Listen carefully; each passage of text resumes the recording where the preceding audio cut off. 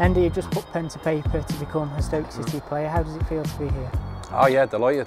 Um, obviously happy to uh, that it's all done and dusted now and just really looking forward to getting in and, and getting training with the lads. What were the reasons for you wanting to come here?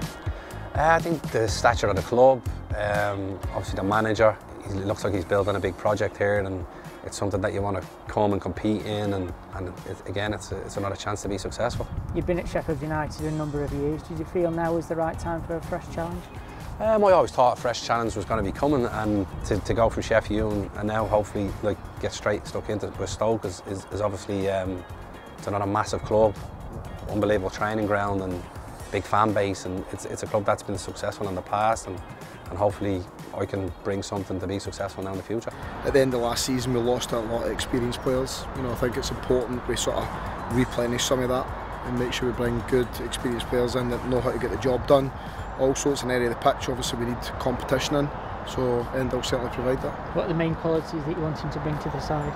Um, well, I sort of know him as a lad, you know, I know a lot of people that have played with him, so first and foremost, character-wise, he's, he's, he's a winner. You know, he'll be good about the group, uh, he'll put demands on people as well as himself. Also pedigree, you know, he's been promoted twice for the division. I think it's important that we get people in that know how to win, but particularly at our level. Um, and obviously competition, as I say. So I think that'll be a really good competition at left back. During your time at Sheffield United, you won two promotions from the Championship. What were the key to those successes? Um, a lot of things. I think obviously the team, the group of lads we had, the dressing room, the characters and the quality of player and um, it's something that I've, I've benefited from and it's something now that I want to bring into Stoke and, and hopefully have that. You know, I think that every changing room really, they're experienced players sort of lead the way and, and sort of are there to lend a hand to the younger lads that have been in maybe that situation for the first time. Um, and also when big games come around, they're normally the calmest guys because they've, they've sort of sampled those games before.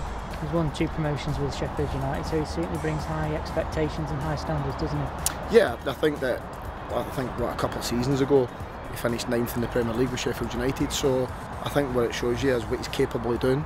You know, obviously he's getting a little bit older, but I'm sure he'll be sort of having a point to prove. You know, we had Phil Jagielka last year at 40, who turned out so many different good performances for us. So I think he's a really good addition. Through the through a whole season, you're going to have good parts, you're going to have bad parts. You know, it's it's it's this this season.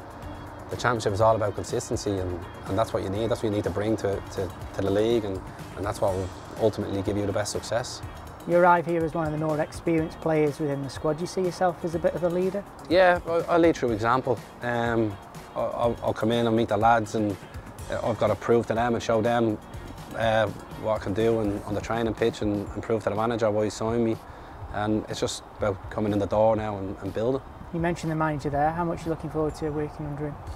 Yeah, no, massively because anytime we played against his teams, it, they've always uh, it's always been like a, a cracker of a game. Um, played against his Preston teams.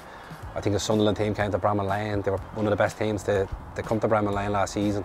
Um, and you know, he's, he's obviously building a big project here and it's something that thankfully I'm, uh, I'm a part of. We'll go away to Spain on Monday for a week. How important is that period for you personally to get to know your teammates and the staff? Yeah, it, it's the perfect scenario for me really. Um, you go away to Spain, you're spending every day with them on the training pitch, off the pitch, in the hotels, hanging about and just getting to know the lads, as you said, it's, it's, it's, it's key.